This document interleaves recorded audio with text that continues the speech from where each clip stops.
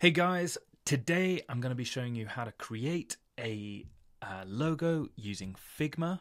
Then I'm going to be talking about how to create that logo in 3D in Spline when you export it as an SVG. Then we're going to be talking about animating that logo in Spline. And then the fourth video will actually be looking at how we can export that file using Spline in various different ways from images, videos, and uh, the actual Spline embed itself. And then I'm going to be showing you how to actually put that into a website so that you guys can actually uh, potentially get signups for whatever you're using this file for, for example. Let's get into it. Cool. Okay, so you've got an idea for some kind of business, say. Um, for me, I have been thinking about this because I'm trying to create a 3D music visualizer.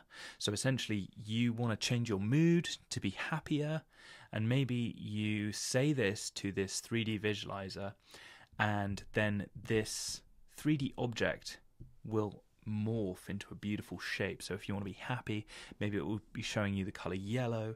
Maybe it will be moving in, in a kind of sinuous notion. Um, and if you want to get pumped up for the gym, say maybe, um, then you know you can play more aggressive music uh, with a higher BPM, and then uh, it'll actually change this shape to uh, you know be more like angry, like displaced, and uh, maybe a little bit more jaggedy. That's the idea. So I was thinking, oh, wouldn't it be cool if I made some kind of branding for it? So I was playing around with some ideas. Now, if you're trying to create a logo, what I recommend doing is actually not starting on Figma or Adobe or whatever you're using. Um, I actually think it's best just to just to sketch using, uh, yeah, literally like pen and paper or pencil and paper um, if you prefer pencil, but just sketch loads and loads and loads. And I think ideas will come out of that. Um, there's some amazing examples of uh, logo designers that I follow on Twitter. this guy, Kyle Anthony, um, has got some really amazing work um, for you know logo projects. Um, Kyle Anthony Miller, sorry, that's his full name. Um, and there's all sorts of different people that I massively recommend you following, um, who will give you some really interesting like visual um, direction that you can explore as you as you play. Um, because ultimately I think it is playful you know the the act of drawing logos shouldn't be something that's like oh my god I've got to get like the perfect mark. It's more like let's just play and explore and think about different ideas. So I was thinking I was thinking about different visual ideas and this whole idea of trying to feel more balanced generally because I actually created this um, app idea or I'm starting this whole app idea because I wanted to feel more calm and I was like, hmm, how can that visual kind of represent that and feel balanced and um, together? so having a circle is obviously a really nice way of you know feeling well rounded, feeling calm and then having this shape of like balance where you know you have the different parts of your life that come together that hopefully you know are kind of equal so you've got like the spiritual part of you and the fitness and the health and the wealth and you know having all of those things come together so that's the explanation for this um, finding fonts I really recommend. Uh, there's an amazing website or Foundry, I should say, Pangram Pangram. Um, and what you can do is you can just have a look through at these incredible fonts that a lot of them are, um, yeah, just like have got like an old feel but are quite modern or you know there's more modern fonts on here. But depending on the mood of what you're trying to do if you're trying to create a logo then i recommend thinking about the font. So you know sketching trying to make a word mark or something. Um, sorry trying to make a logo, but also thinking at the same time, you know, what fonts might work well with this uh, icon? Can that icon maybe fit as part of the word mark? um, so anyway, I found this amazing font, uh, which is Grotesque New, and what you can do is you can actually download these fonts from here. Um, often, different foundries have uh, you know trials, so you can try it for free, and they'll basically give you some uh, like sample fonts. So they won't give you all the different um, options from you know fine like you know regular etc. But they'll give you something that you can try and you can explore with that. So that's what I've done here. Okay, so how do we do all this? So what you want to do, say you were trying to create a mark like this. So this is a 2D mark right now, obviously. This is literally just a flat thing. Um, you can draw different shapes from this panel here.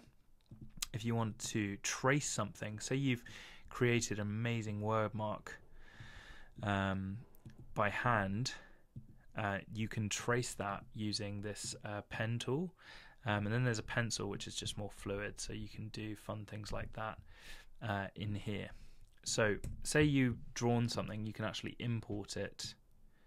Whoop! You can import it using this. Sorry, I can't actually see. There it is. That's better. Um, from here, you can uh, actually import an image uh, into here, and then you can you can trace it or do whatever you want to do from that. so it's quite powerful tool, Figma. A lot of people do logos using Adobe Illustrator, um, which is an amazing tool, and I completely get why you might want to use that tool if you want trying to do, um, you know, professional level work. But if you just want to get going with a logo, I I think Figma is a really good, um, you know, first option. So, like I said, sketch loads think about how you want the word mark to look and feel, or how you want the logo icon to look and feel, how those two things can play together the icon, like some kind of symbol, or do you just want a word mark, or do you want, you know, um, a logo which is a bit more flexible? Maybe you've got an icon and uh, a word mark that can sit together, or they can just be uh, independent of each other, which is what I've gone for here. Changing colors, you can do that by clicking on the shape you've got using the same uh, using the fill. If you uh, have colors on this Figma board, then what you can do is use this little pen tool, click, and then you've got the same um, color here as you can see in this hex code. Now, if you wanted to create a shape like this, what you can do is you can go into this, click star, and let's drag out a star. And then what we can do is we can actually change the number of sides we have in the appearance uh, section on the, the right here. Um, let's actually not do that as high. Let's make that something more like 20. And then if we wanted to just highlight these ones here, we can make those a little bit more rounded. Let's make that say 100. So now we've got a shape that has rounded corners uh, on all the sides. And then if we wanted to actually uh, put that inside here, we can do that. We can actually extract this from the middle by highlighting both of them. And then at the top right here, we've got this exclude selection. And if you do that, then what you've got is the top shape excluding the bottom shape, uh, which just means that you've got something with a hole in it, basically. And that is how we've got a very simple um, icon that we've created. Now, what we can do is we can actually export this to Spline and then turn it from a 2D into a 3D. You can do that with the text, you can do that with the icon.